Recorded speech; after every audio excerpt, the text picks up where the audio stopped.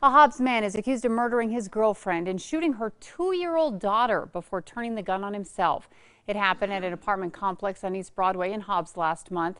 Police say the woman's other child, a one-year-old boy, went to a neighbor for help after the shootings.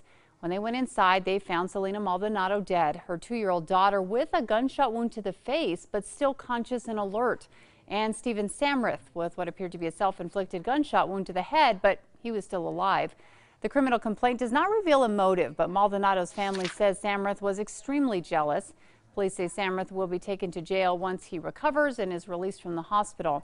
Also, the autopsy revealed Maldonado was four or five months pregnant.